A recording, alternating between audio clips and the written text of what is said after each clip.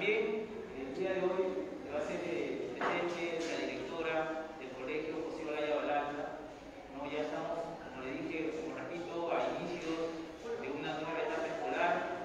Sin embargo, el colegio de, Bu- de Pujama Baja tiene, tiene un inconveniente, que es un tanque elevado de agua. Está totalmente deteriorado y en cualquier momento puede caer. Es un tanque elevado de más de 6, 7 metros, entonces es un peligro latente para los niños.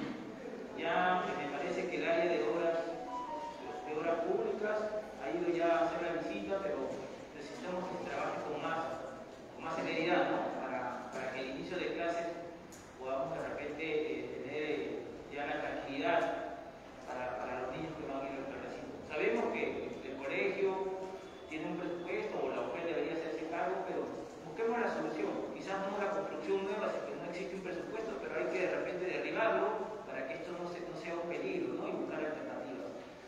Eso es todo, señor señor Valdés.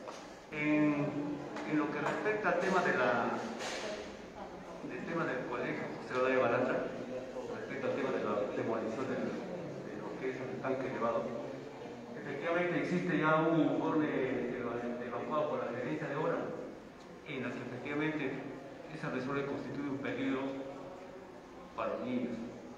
Ya están en unas condiciones estructurales que ameritan. Bueno, si no somos nosotros, alguien debe intervenir ahí para hacer la demolición, que es lo que ellos necesitan. En ese sentido, eh, se va a hacer, un- de todas maneras, lo que se tiene que hacer es hacer un informe para determinar si nosotros como municipio podemos hacer, porque se va a hacer un costeo de presupuesto para que se haga a través de un servicio. Es un tema que definitivamente alguien tiene que hacer. La mujer